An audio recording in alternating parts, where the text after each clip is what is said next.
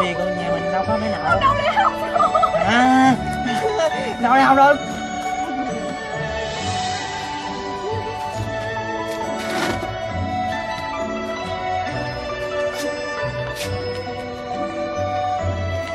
Mà và nó ơi mơ của con chúng chúng ta đã thành công rồi tôi đã không phụ lòng bà rồi.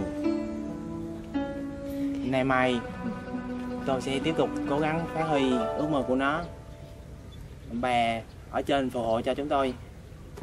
Và ờ, cố gắng mỉm cười nơi suối vàng nha bà. Con ơi, bây giờ mình đi ra ngồi tiệm ăn phở đi. Chúng ta phải ăn mừng ngày hôm nay mới được. Chúng ta đi thôi nha con.